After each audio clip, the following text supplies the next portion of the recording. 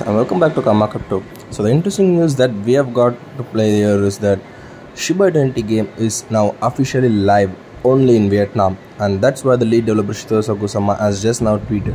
So he has said Vietnam, the game Shiba Eternity is actually now available for testing in their own country only on iOS guys, not on Play Store and uh, this is an early test and more features will be released in the later builds on update. So he's asked the Vietnamese people just to start experimenting.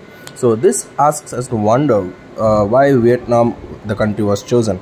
We may think that uh, the Shito, Shytoshi Kusama's hometown or native town may be uh, vietnam because um, he's been doing a lot of real stuffs for the growth of shiba in the community as well as shiba token in vietnam. And he's also asked to you know uh, suggest Shiba Inu to be one of the most dominant currency in Vietnam. And this will happen in the future but right now Vietnamese people have a really a good chance to start testing the Shiba Inu game. And let me know in the comment section how the game is from the Vietnam side